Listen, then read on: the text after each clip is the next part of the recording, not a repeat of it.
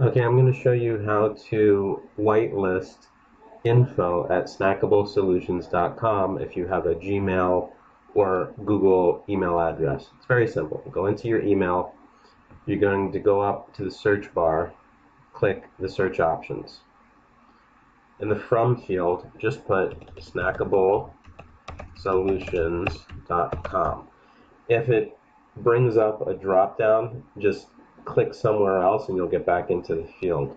If that still doesn't work, then you can change it to info at snackablesolutions.com.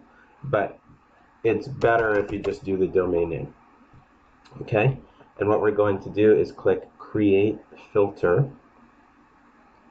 Now, what you want to do is you want to say star it, never send it to spam, and if you want to, I, I hope that you click always mark it as important. Okay?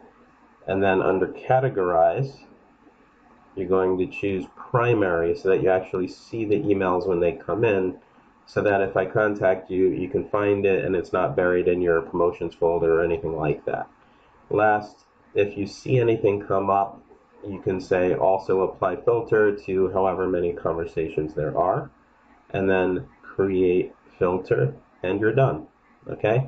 So star it, never send to spam, always mark as important, categorize as primary, and apply it filter to matching conversations, and then create.